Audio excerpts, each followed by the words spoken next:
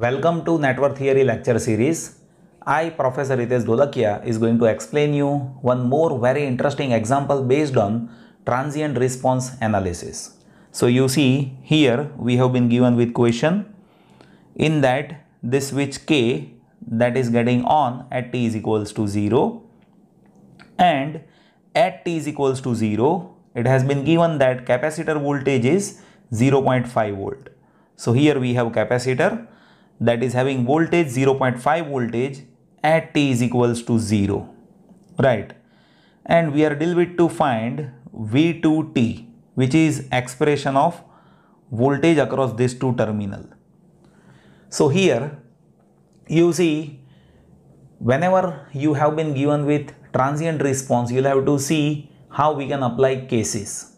So first case that is already given to us that is initial voltage across capacitor means before switch is on voltage across capacitor that is already given. At t is equals to 0 voltage across capacitor is 0.5 voltage across this. So i just need to identify second case. That is what? What will happen after switch is on?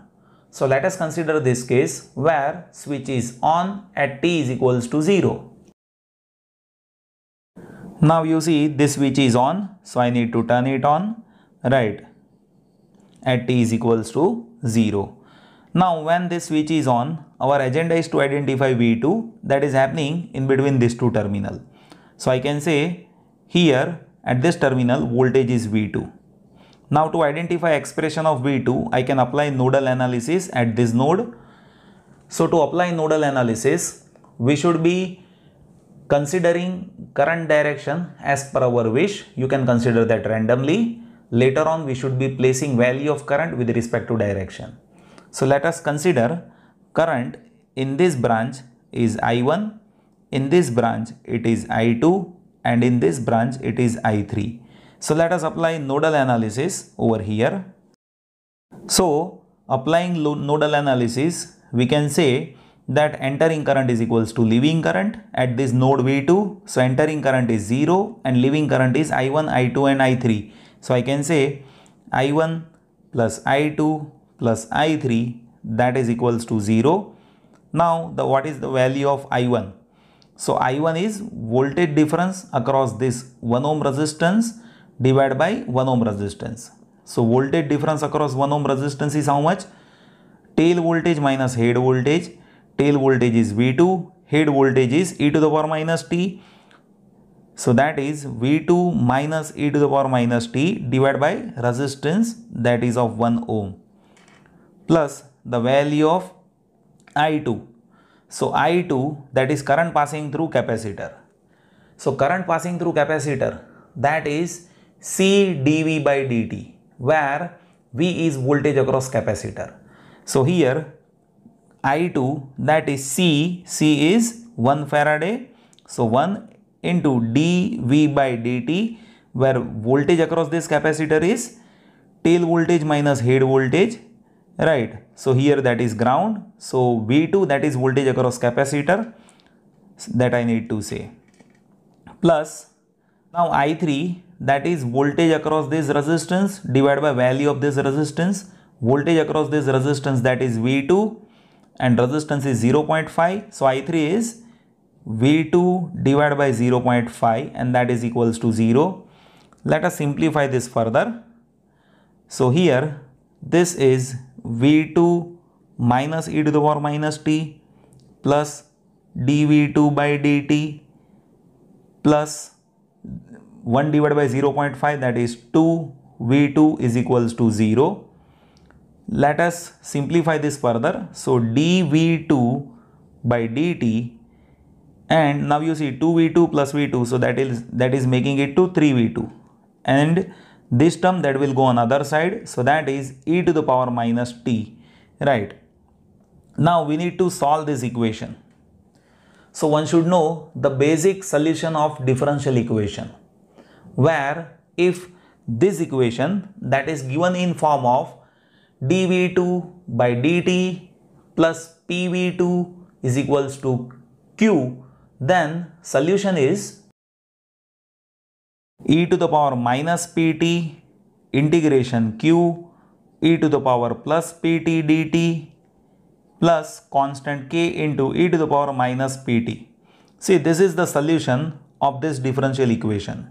So here you can clearly observe that value of p that is 3 and value of q that is e to the power minus t. So let us substitute this in this equation so that we can have a value of v2.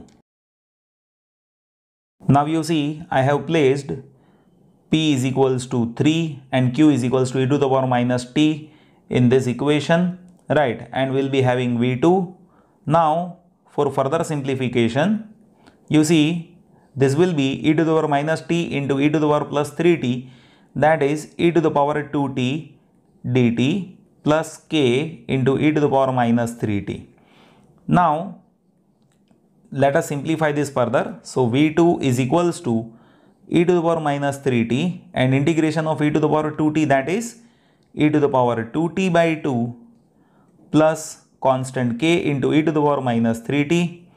Now this will make it to v2 that is e to the power minus 3t into e to the power 2t so that is e to the power minus t by 2 plus constant k into e to the power minus 3t right so now we have this V2, but here we have constant K.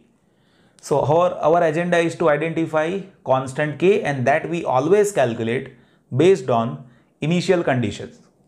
So if you observe, initial condition is already given. At t is equals to 0, capacitor voltage is 0.5.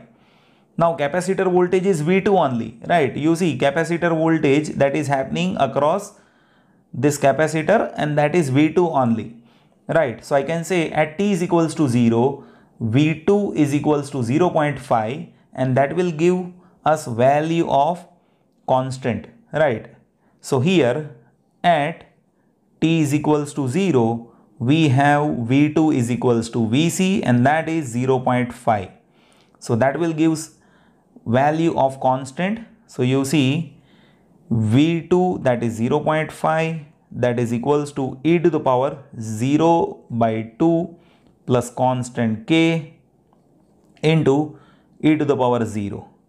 Now that will gives us 0.5 is equals to 0.5